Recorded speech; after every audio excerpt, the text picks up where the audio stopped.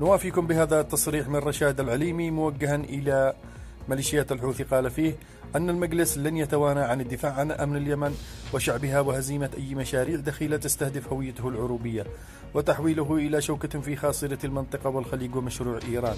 وأكد رئيس مجلس القيادة الرئاسي أن يد المجلس ممدودة للسلام العادل والشامل مشيرا في الوقت ذاته إلى استعداد المجلس لخوض الحرب ضد ميليشيات الحوثي لاستعادة الدولة وإنهاء الانقلاب.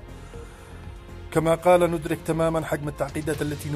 واجهناها ولكن لدينا من العزيمة ما قد يعيننا على تفكيك الألغام المزروعة في طريقنا في الوقت الذي نثق فيه بتعاون الجميع على المستوى المحلي والإقليمي والدولي لتنفيذ مهامنا الوطنية وفي المقدمة استكمال استعادة الدولة وتخفيف معاناة المواطن معاناة المواطنين المعيشية. وأوضح أن الوضع القادم استثنائي وعلى الجميع تحمل مسؤولياته وأن يكونوا عند مستوى التحديات مؤكدا أن التحديات كبيرة لكن تحقيق النجاح ليس مستحيلا وأن هناك التفاف سياسي وحزبي مجتمعي حول تشكيل مجلس القيادة وهو ما يجعله أمام مسؤولية جسيمة لن يهرب منها تحت أي اعتبارات ولا طريق أمام المجلس غير النجاح فقط.